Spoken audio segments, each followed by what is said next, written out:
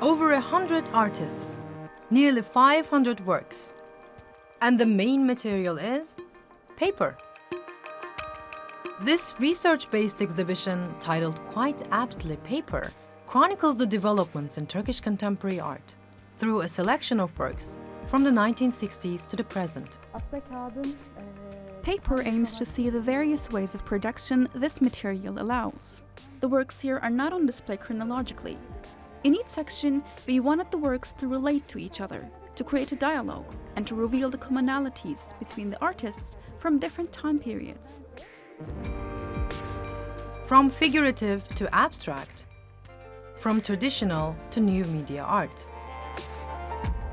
With its diverse scope, the exhibition brings together the works on paper, both by young as well as more experienced artists.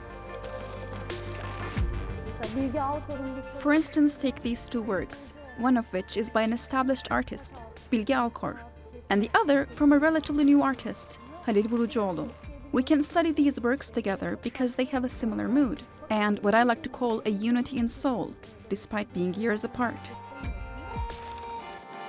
The exhibition is also a comprehensive study on paper as a medium, bringing out the themes artists were heavily drawn to in the last 50 years, like ecological concerns, social issues, and urbanization.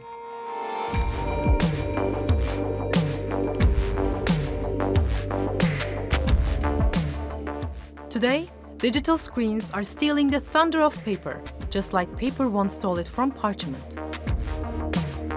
And even though the prestige of the canvas still persists, more and more artists are turning to paper as a medium for different reasons. For example, because of the material's unique artistic value. Seeing artwork on paper means that you are now in an artist's studio.